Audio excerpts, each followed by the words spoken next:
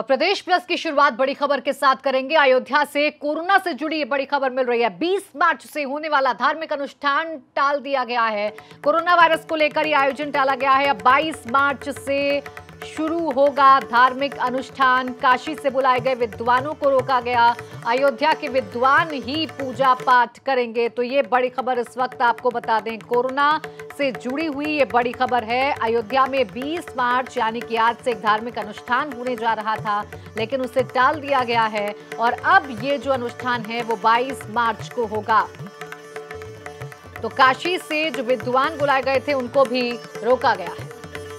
ऋषि गुप्ता हमारे साथ, हमारे संवाददाता जुड़ गए ज़्यादा जानकारी के साथ ऋषि, कोरोना को लेकर बड़े कदम उठाए जा रहे हैं और अब धार्मिक अनुष्ठान पर भी इसका असर पड़ता हुआ नज़र आ रहा है।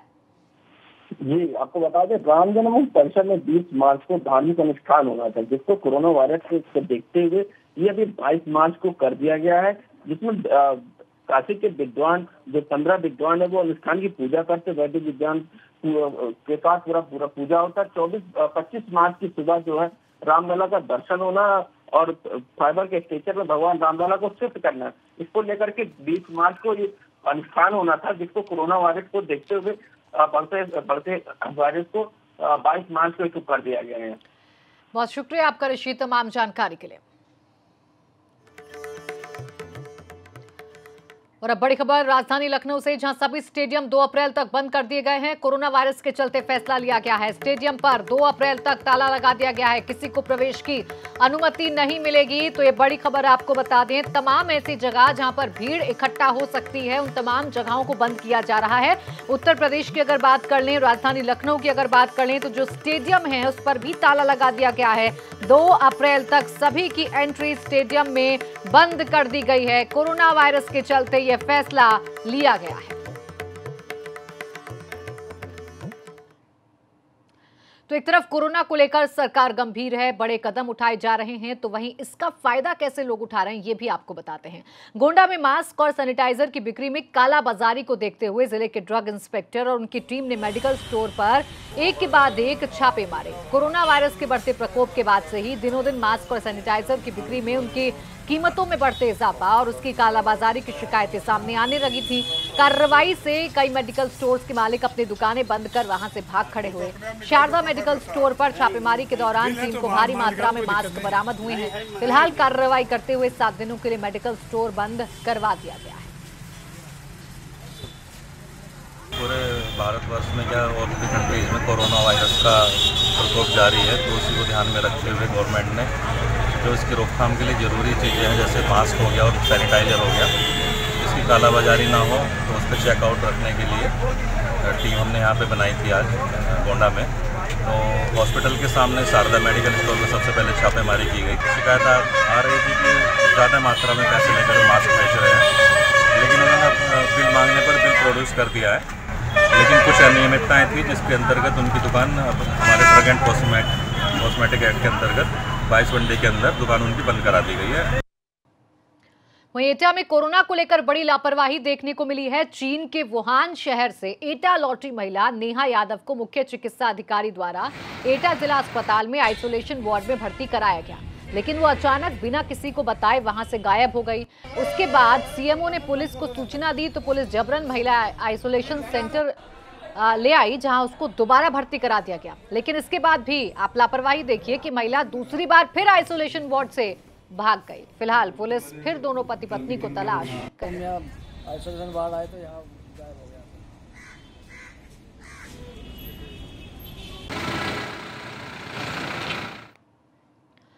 देश और प्रदेश भर में कोरोना वायरस से निपटने की हर संभव कोशिशें की जा रही हैं। वहीं यूपी के गोंडा में जेल प्रशासन द्वारा कोरोना वायरस के चलते एक ऐसा कदम उठाया गया है, जिससे जेल में बंद कैदियों से उनके परिजनों द्वारा मुलाकात पर पाबंदी लगा दी गई है।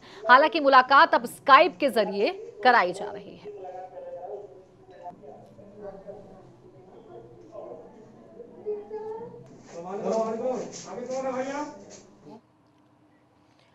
वहीं प्रधानमंत्री नरेंद्र मोदी ने कोरोना वायरस को लेकर राष्ट्र को संबोधित किया। इस दौरान उन्होंने देशवासियों से 22 मार्च को जनता कर्फ्यू लगाने का आह्वान किया है। पीएम ने यह भी कहा कि ये वैश्विक महामारी हो चुकी है। इससे पूरा विश्व परेशान है। उन्होंने देशवासियों से वैश्विक महामारी से लड़ने के लिए एक साथ आने की अपील की।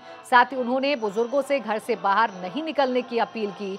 उन्होंने कहा कि लोगों को संकल्प लेना चाहिए कि वो केंद्र और राज्य सरकारों के परामर्श का अनुपालन करेंगे।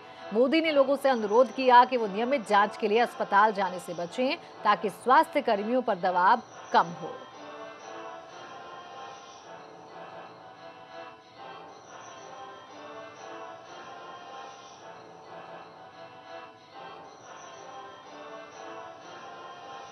इस तरह की वैश्विक महामारी में एक ही मंत्र काम करता है।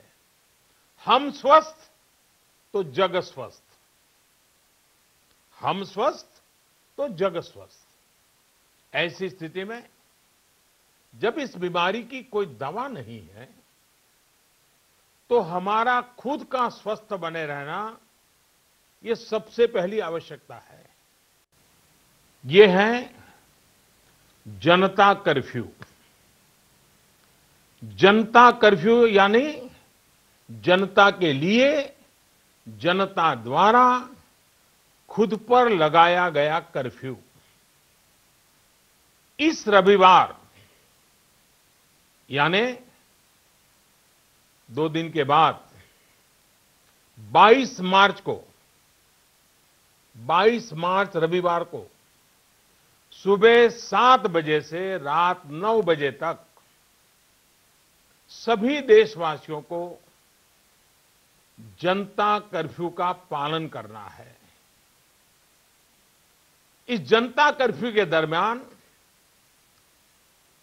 कोई भी नागरिक घरों से बाहर न निकले, न सड़क पे जाए, न मोहल्ले में या सोसाइटी में इकट्ठे हो, अपने घरों में ही रहे। हाँ जो आवश्यक सेवाओं से जुड़े हुए हैं, उनको तो जाना ही पड़ेगा, क्योंकि उनका बहुत बड़ा दायित्व तो होता है। लेकिन एक नागरिक के नाते, न हम जाए और हम देखने के लिए भी न जाए। साथियों 22 मार्च को हमारा ये प्रयास, हमारे आत्मसंयम,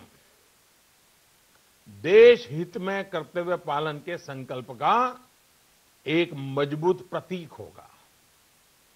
22 मार्च को जनता कर्फ्यू की सफलता, इसके अनुभव हमें आने वाली चुनौतियों के लिए भी तैयार करेंगे। मैं देश की सभी राज्य सरकारों से भी आग्रह करूँगा कि वो जनता कर्फ्यू का पालन कराने का नेतृत्व करें। और इस बीच बड़ी खबर अयोध्या से, जहाँ अवध विश्वविद्यालय 2 अप्रैल तक बंद कर दिया गया है। कोरोना वायरस के चलते ये फैसला लिया गया है। ज़रूरत पड़ने पर शिक्षक कर्मचारियों को बुलाया जाएगा, लेकिन फ़िलहाल अवध विश्वविद्यालय को 2 अप्रैल तक के लिए बंद कर दिया गया है।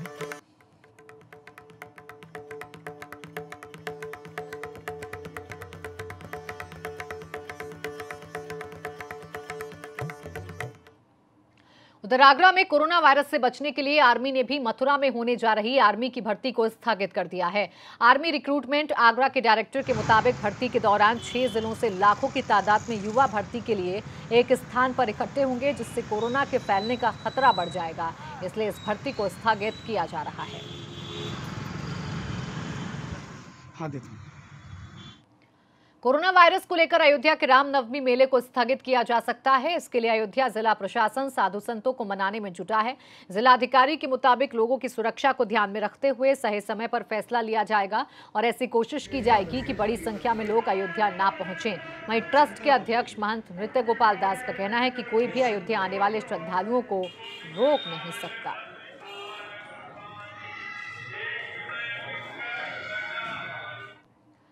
वाराणसी में नाविकों ने अब कोरोना के खिलाफ जंग छेड़ दी है। अगर नाव पर बैठना है तो कोरोना से बचाव करके ही बैठना है। वाराणसी में नाविकों ने नौका विहार करने वाले पर्यटकों को सैनिटाइजर का इस्तेमाल कराया, फिर मास्क दिया और उसके बाद नाव में बैठने को जगह दी।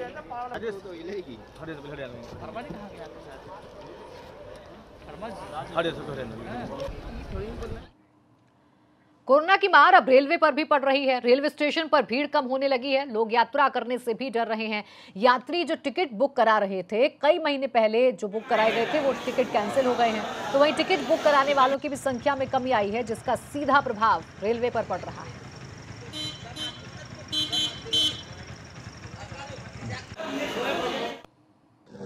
इसको आप ये मान सकते हैं कि रेलवे में कितना आर्थिक नुकसान हो रही है। और दूसरे शब्दों में ये भी मान सकते हैं कि हमारे जो नागरिक हैं, जो हमारे रेल यूज़र्स हैं, उनमें जागृति भी आ रही है। वो चाह रहे हैं कि अति आवश्यक अगर कोई काम हो तो वो यात्रा करना चाह रहे हैं। अदरवाइज़ वो चाह रहे हैं कि यात्रा को न किया जाए ताकि ये जो वायरस है ना, इसका इसके स्प्रेड को जहाँ तक हो सके, संभव हो सके, रोका जाए और इसमें देश को सहायता पहुँचाया जाए। और इस बीच एक बड़ी खबर मिल रही है कन्नौज से, जहाँ पुलिस हिरासत में एक टीचर ने फांसी लगा ली। त्रिवा कोतवाली पुलिस की बड़ी लापरवाही सामने आई है। पत्नी की शिकायत पर पुलिस शिक्षक को उठाकर लाई थी, टीचर को उठाकर लाई थी। आनंद फानंद ने अस्पताल लेकर गई पुलिस, लेकिन डॉक्टर्स ने टीचर को मृत घोषित कर दिया।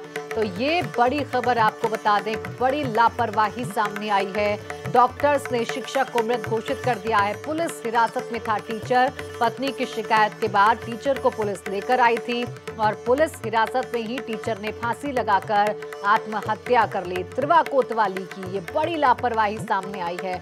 सवाल है कि पुलिस हिरासत में कैसे एक टीचर ने आत्महत्या कर ली? नित्य मिश्रा हमारे संवाददाता जुड़ गए फ़ोन लाइन पर हमारे साथ। नित्य क्या अपडेट्स आपके पास? देखिए मौके पर पुलिस के आला अधिकारी और जिलाधिकारी मौजूद है और वहाँ पर पीड़ित पर जो परिजन है जो जो शिक्षक है मतलब शिक्षक उनके परिजनों को सूचना दे दी गई है और उन परिजनों का इंतज़ार हो रहा है शव को पोस्टमार्टम भेजने के लिए।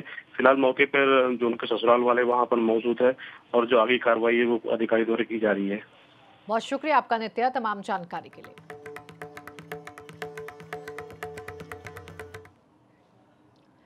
और अब खबर बुलंदशहर से, जहाँ दो परिवारों को बंधक बनाकर डकैती का मामला सामने आया है। छह से ज़्यादा बदमाशों ने घर में डकैती डाली है। नकदी आभूषण लेकर बदमाश फरार हो गए। पुलिस ने बदमाशों की तलाश शुरू कर दी है।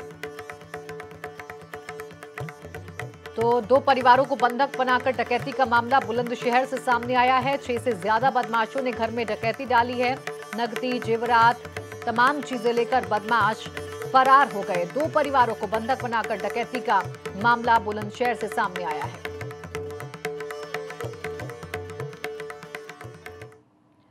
और संभल में घर के बाहर खेल रहे 11 साल के एक मासूम बच्चे का अज्ञात बदमाशों ने अपहरण कर लिया और परिवार से 8 लाख की फिरौती की मांग फ़ोन पर की।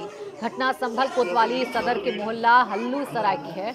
मासूम चौथी क्लास का छात्र है। पिता पवासा में ग्राम पंचायत अधिकारी हैं। इधर छात्र के अपहरण की खबर से पुलिस महकमे में हड़कम मचा हुआ है।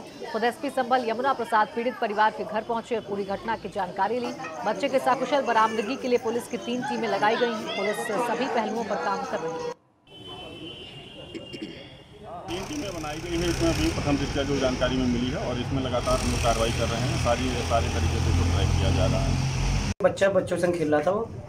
और दो के तीन बजे के आसपास की बात है। उस टाइम की बात है ये हमें पाँच बज के बीस मिनट पर पता चला था जब उसकी कॉल आई है। जो उठा के ले गया है। कि मैं यहाँ से बोल रहा हूँ काशीपुर से बोले इतने इतने पैसे ले आओ। किससे फ़ोन किया था? उसने अपनी मम्मी के पास कहा था। कितना रुपए मांगे आठ लाख रुपए। तो संभल से ये अपहरण की खबर सामने आई है। उबैदुर रहमान हमारे संवाददाता जुड़ गए हैं। फ़ोन लाइन पर ज़्यादा जानकारी के साथ उबैदुर रहमान क्या अपडेट है? पुलिस के हाथ अभी तक कहाँ पर पहुँचे हैं? क्या कोई सुराग मिल पाया है अपहरणकर्ताओं का? देखिए अभी पुलिस की तीन टीमें जो हैं वो सुराग रसी करने में लगी हुई हैं। आ, कल दोपहर बाद के बाद से बच्चे का अपहरण किया गया था घर के बाहर खेलते समय। तो अभी पुलिस की कई टीमें लगी हुई हैं और बच्चे का जो कॉल आ रही है फैमिली को लेकिन वो जो अ, मांगने वाले लोग हैं वो परिवार से बच्चे की बात नहीं करा रहे हैं। और जो आखिरी कॉल आई थी उसके मुताबिक जो परिवार वालों ने बताया कि वो अपनी लोकेशन उत्तराखंड के काशीपुर बता रहे हैं जो फिरौती मांग रहे हैं। आठ लाख रुपए की फिरौती की बात कही गई है। आ, लेकिन पुलिस जो है उसको ये भी एक वो है कि पहले एक बार पहले भी इस तरह का घटना हुई है इस बच्चे के साथ कि अपहरण की बात आई थी सामने। जी।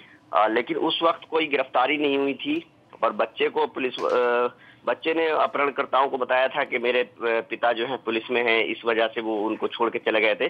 तो पुलिस इस मामले को दोनों तरह से देख रही है कि संदिग्ध भी हो सकता है मामला और जो हकीकत में अगर अपहरण हुआ है तो फिर बिल्कुल तमाम पहलुओं पर जो है वो जाँच की जा रही है। बहुत शुक्रिया उबैदुर रहमान तमाम जानकारी के लिए। और खबर ग्रेटर नोएडा से, जहाँ पुलिस और बदमाशों की एक बार फिर मुठभेड़ हो गई। जारचा थाना पुलिस और डीजल चोरों की मुठभेड़ हुई। मुठभेड़ के दौरान पच्चीस हज़ार के इनामी बदमाश सहित दो बदमाश के पैर में गोली लग गई, जबकि तीन बदमाश अंधेरे का फ़ायदा उठाकर मौके से फरार हो गए। घायल बदमाश से तमंचा, कैंटर और डीजल चोरी करने के उपकरण बरामद किए गए हैं।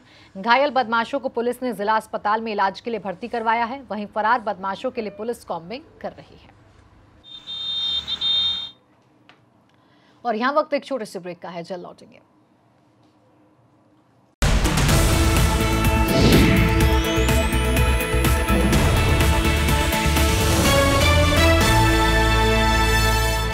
ब्रेक के बाद स्वागत है आपका और अब बात करेंगे आज की सबसे बड़ी खबर की। आखिरकार वो दिन आ ही गया जिसका इंतज़ार करीब साढ़े सात साल से पूरा हिंदुस्तान कर रहा था।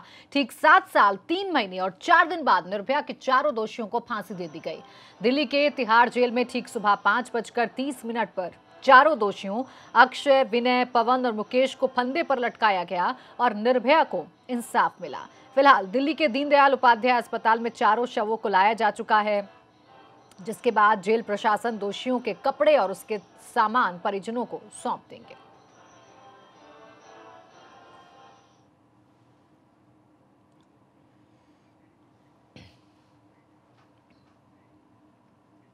इधर निर्भया की माँ ने कहा है कि अब कोई ऐसा कानून बनना चाहिए जिससे अलग अलग भी दोषियों को फांसी देने का प्रावधान हो सके, ताकि दोषी बार बार पिटीशन दाखिल करके फांसी को टालने की कोशिश ना कर सके। कोर्ट से आग्रह करेंगे कि सुप्रीम कोर्ट एक नया गाइडलाइन निकाले कि जिस तरह से निर्भया के केस में ढीले टैक्टिस अपनाई गई है, वो बाउंड हो, एक समय बाउंड हो कि अगर एक से ज़्यादा मुजरिम है, एक साथ उसको फांसी होनी है तो एक साथ ही वो मर्सी करे, दयाज का करे और एक समय के अंतराल करे। निर्भया को इंसाफ मिलने से न सिर्फ़ उनके माता पिता खुश हैं, बल्कि परिजन भी काफ़ी उत्साहित हैं। क्या कुछ कहना है निर्भया के परिजनों का, ये भी सुनवाते हैं। ये हम लोगों को पता चला तो सुबह चल के आज हम लोग सुबह सुबह आए हैं इस गाँव में इनके घर।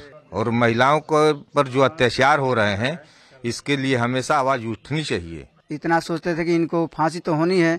जब एक बार एक कोर्ट किसी चीज़ को फांसी या कोई सजा सुना देता है तो उसमें आप जितना मर्ज़ी तैर लीजिए। लेकिन उसको देख करके ही कोई भी जज जो है वो अपना फैसला सुनाएगा। ये सात सालों के बाद इंतज़ार करते करते सात साल से ज़्यादा हो गया। लेकिन हमें विश्वास था, दौड़ भाग तो हम लोगों ने कोर्ट में बहुत किए और दौड़ते रहे। लेकिन हमें विश्वास था तो न्याय जो मिलेगा वो सही, सत्य जीत होगी। एबीपी गंगा ने निर्भया पक्ष की वकील से भी बातचीत की है। वकील सीमा कुशवाहा ने कहा कि जो भी दरिंदगी करेगा, वो कानून से बच नहीं सकता। सीमा ने कहा कि दरिंदों ने बचने के लिए काफ़ी चाल चली, लेकिन आखिरकार उन्हें फांसी के फंदे तक पहुँचा ही दिया गया। दरिंदों ने कानून की कौन सी किताब नहीं छोड़ी होगी जिससे वो बच निकलना चाहते थे लेकिन निर्भया केस में जो सबसे बड़ी लड़ाई न्याय के मंदिर में लड़ी वो लड़ने वाली हैं सीमा कुशवाहा अधिवक्ता। आप बताइए कि सारे पन्ने उन्होंने खंगाल लिए सारा संविधान कानून सारा आईपीसी सीआरपीसी लेकिन आज दरिंदे अपने मुकम्मल अंजाम तक पहुँच चुके हैं। बड़ी भूमिका। जी हमारी बड़ी भूमिका रही और मैं कहूँगी कि वो बेटी जिसके साथ इतनी दरिंदगी हुई, जो जीना चाह रही थी, इतनी दरिंदगी होने के बावजूद भी वो अपने जीवन के सर्वाइविंग के लिए लड़ाई लड़ती रही। तो हमारी फाइट उन निर्भया की, वो बारह तेरह दिन की फाइट के आगे कुछ भी नहीं है। लेकिन आपने जो बात की कि इन कन्विक्टेड के लॉयर ने सारे पन्ने खोल लिए। अपन ने जो संविधान में, जो कानून में जो प्राविधान है, वो इनोसेंट पर्सन के लिए हैं, वो जो फेयर इंसान है, उसके लिए, जिसका इंटेंशन अच्छा है, उसको जस्टिस दिलाने के लिए है। इन्होंने जो हीनियस क्राइम किया था, उसका जो मैक्सिमम पनिशमेंट डेथ सेंटेंस था, उससे इनको अवॉर्डेड किया गया, क्योंकि जो हीनियस क्राइम था, उसका यही पनिशमेंट था। ये रेयर ऑफ़ रेयरेस्ट मैटर था। और इसी के साथ इस बुलेटिन में फ़िलहाल इतना ही। देखते रहिए बीपी गंगा खबर आपकी ज़ुबान